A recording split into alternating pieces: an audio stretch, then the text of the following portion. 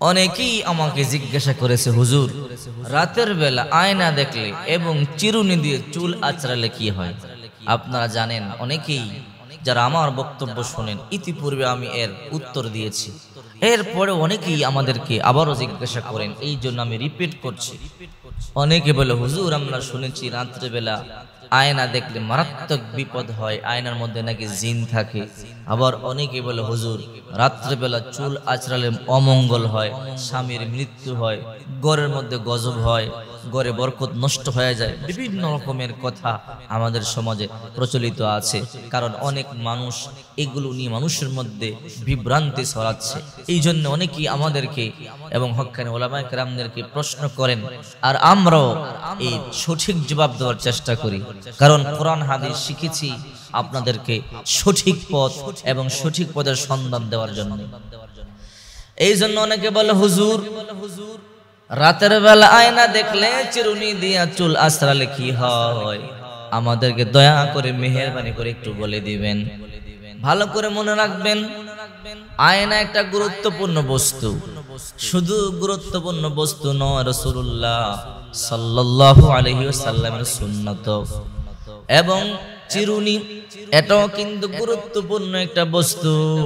এটাও রসুল করিম সাল্লাল্লাহু আলাইহি ওয়াসাল্লামের সুন্নত বটে। মায়েশা বলেন বিশ্বনবী মোহাম্মদ রসুল্লাহ সাল্লাল্লাহু আলাইহি ওয়াসাল্লাম আয়না এবং চিরুনি বড় পছন্দ করতেন।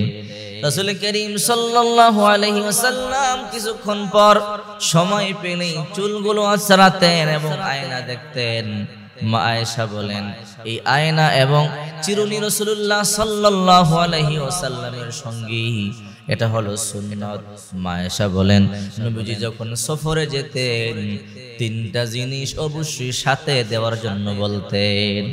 বলতেন, আয়েশা আমার আয়নাটা, আমার চিরুনিটা আর আমার মেসওয়াকটা আমার পকেটের মধ্যে ঢুকিয়ে দাও। মা আয়েশা বলেন, বিশ্বনবী মুহাম্মদুর রাসূলুল্লাহ সাল্লাল্লাহু আলাইহি ওয়াসাল্লাম যখন সফরে যেতেন, তখন আমি আয়না, চিরুনি এবং আমি একটা মেসওয়াক পকেটের মধ্যে ঢুকিয়ে দিতাম। এই তিনটা জিনিস রসুল্লাহ সাল্লাহ সাল্লাম সাথে নিতে কখনো ভুলতেন না। অনেকে রাতের বেলা চুল আচড়ায় মহিলা মা বোনদেরকে বলব, সাবধান, যখন চুল আচড়াবেন সাবধান। এই চুলের মাধ্যমে কিন্তু জাদু করা যায়। বিশ্বনবী মোহাম্মদ রসুল্লাহ সাল্লাল্লাহু আলাইহি ওয়াসাল্লামকে এই চুলের মাধ্যমে জাদু করা হয়েছিল। নবীজি বিছানার মধ্যে পড়েছিলেন। নবীজির এমন অবস্থা হয়েছে।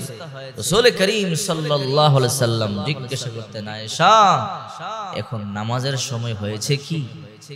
চিন্তা করে দেখেন, এমন মারাত্মক রসুলকে ভান মারা হয়েছিল, জাদু করা হয়েছিল, রসুল করিম সাল্লাহ আলাইহি ওসাল্লাম বলেন। জাদু এটা সত্য তোমরা জাদু করতে ধারে কাছে যেও না, এবং যারা জাদু করে, যারা কুফুরি করে, তাদের নজর থেকে পর্যন্ত দূরে থাকবা।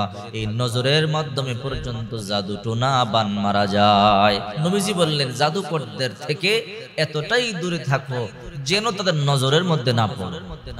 রসুল করিম ওয়াসাল্লামকে জাদু করা হয়েছে। কে জাদু করেছে, কি জাদু করেছে রসুল করিম আলাইহি জানেন না। তিনটা মাস এমন অবস্থা হয়েছে, বিছানার মধ্যে পড়ে গিয়েছেন। আস্তে আস্তে নবজি শুকিয়ে যাচ্ছেন, খাবার পর্যন্ত খেতে পারে না। হঠাৎ করে আল্লাহ তাআলা দুই ব্যক্তিকে নবীজির কাছে প্রেরণ করেছে। একজন নবীজির পায়ের কাছে বসেছে, আরেকজন নবীজির মাথার কাছে বসেছে, দুইজন গল্প শুরু করেছে। দুইজন সাধারণ মানুষ নয়, একজন আল্লাহর ফেরেস্তা জিব্রাইল আর একজন আল্লাহর ফেরেস্তা মিকাইল। দুইজনকে আল্লাহ তালা পাঠাইছে। পায়ের কাছে যে ফেরেস্তা বসে ওই ফেরেস্তা মাথার কাছের ফেরেস্তাকে বলে, ভাই, এই ব্যক্তিকে জাদু করা হয়েছে। বলে, তাই নাকি বলে? হ্যাঁ কে জাদু করেছে? বলে, লাবিদ বিন আসাম নামক এক ইহুদি। চিন্তা করছেন? লাবিদ বিন আসাম? তো কেমনে জাদু করল? বলে রসুল্লাহর মাথার চুল ছিঁড়ে ফেলেছিল। সেই চুল চিরুনির মধ্যে ঘেট দিয়ে খেজুরের খোসার মধ্যে, এক বিশাল কূপের মধ্যে নিচে পাথর দিয়ে ঢেকে রেখেছে। রসুল করিম সাল্লাল্লাহু আলাইহি ওয়াসাল্লাম শুনে শুনে অবাক হয়ে গেল। এবার ওই ব্যক্তি বলে তো মুহাম্মদ সাল্লাল্লাহু আলাইহি ওয়াসাল্লাম সুস্থ হবে কি করলে? বলে, ওই জারওয়ান নামক কূপ থেকে, ওই খেজুর গাছের খোসা থেকে চুল বের করে, ওই চুল ছিঁড়ে ফেললে খুলে ফেললে অথবা আগুন দিয়ে পুড়ে ফেললে মোহাম্মদ সাল্লাল্লাহু আলাইহি ওয়াসাল্লাম ভালো হয়ে যাবে। চিন্তা করেছেন। এবার বিশ্বনবী মোহাম্মদ রসুল্লাহ সাল্লাল্লাহু আলাইহি ওয়াসাল্লাম হযরত আলী রাদিয়াল্লাহু তাআলা কে পাঠালেন যাও, জারওয়ান কূপে যাও। জারওয়ান কূপের একদম তলদেশে গিয়ে দেখবে গিয়ে দেখবে বিশাল একটা পাথর, পাথরের নিচে চিরুনির মধ্যে চুল দিয়ে ঘেট দেয়া, খুলে ফেলবে, আগুন দিয়ে জ্বালায়া ফেলবে। এগুলোর মাধ্যমে আমাকে বান মারা হয়েছে। এই জিব্রাইল আর মিকাইলের মাধ্যমে আল্লাহ তাআলা নবীকে শিখাই দিছে। হযরত আলী দৌড়াইয়া গেলেন, গিয়ে দেখে, হা, ঠিকই তো। সেখান থেকে তুললেন, গিট খুলে ছিঁড়ে ফেললেন, আগুন দিয়ে পুড়ে ফেললেন।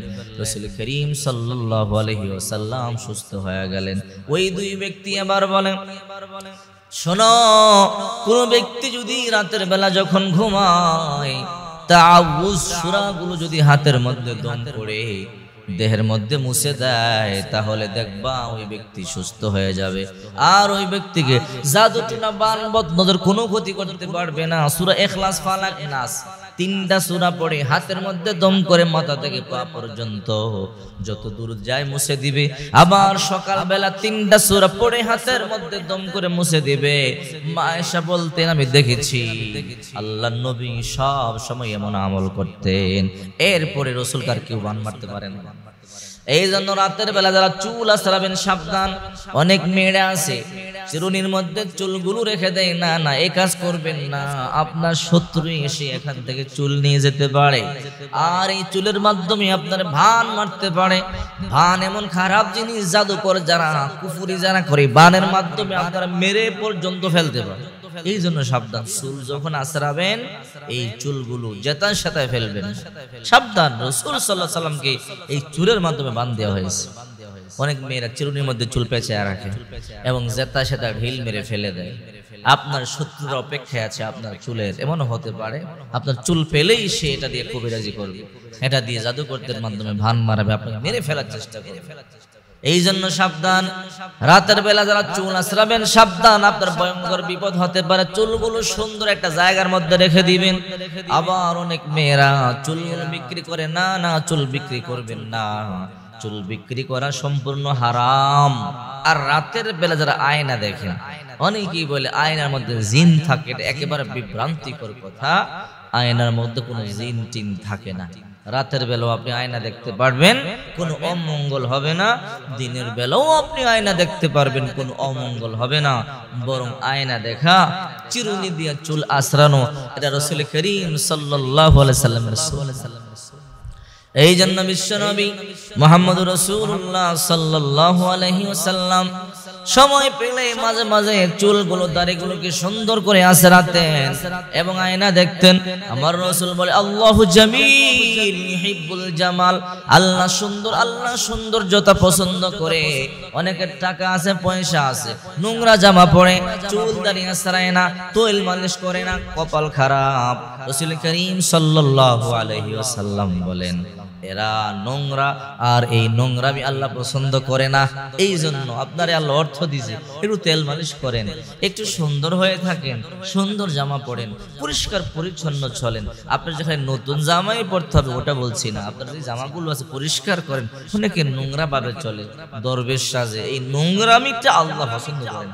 আল্লাহ সুন্দর, আল্লাহ সৌন্দর্যতা পছন্দ করে হোক না, আপনার কালো তাতে কি হয়েছে?